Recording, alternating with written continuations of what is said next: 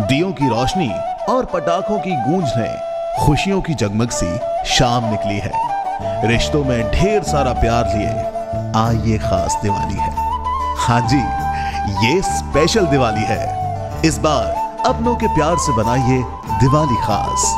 आप सभी को रूपा फर्नीचर की ओर से दिवाली की हार्दिक शुभकामनाएँ।